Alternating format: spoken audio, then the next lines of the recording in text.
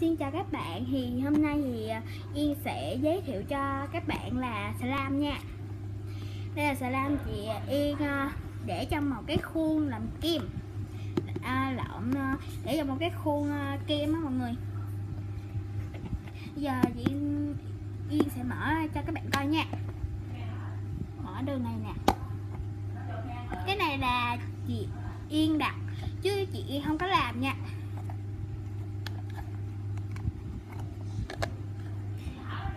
Nếu mà các bạn có nghe tiếng quạt ồn ào thì các bạn không thông cảm cho Yên nha tại cái này á uh, Yên uh, cầm một đá ra rồi. Đá đẹp chưa? Màu đỏ nha mọi người. À, Yên tính đặt kim tuyến mà Yên không có đặt kim tuyến tại vì uh, thấy kim tuyến nó cũng dơ tay á. Nè cũng dơ tay nữa tại vì uh, Yên không có đặt kim tuyến nha.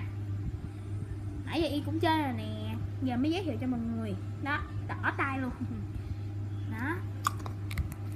Rất là mềm nha. Rất là mềm luôn à, ờ, Yên sẽ ờ, lấy ra cho mọi người xem đây nha. Thì, thì, thì không dính tay nha mọi người. Đó không dính tay. Đó. Nó không có kéo dài bằng cái slam shop đó đã chưa? Hay.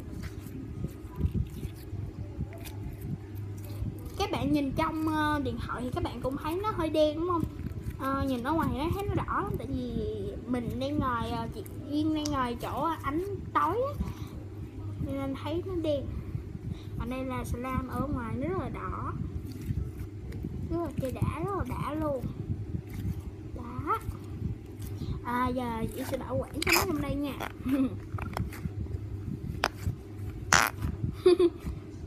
Mình làm đè số mà nó kêu giống như là tiếng chấm vậy á. Hey, xong rồi.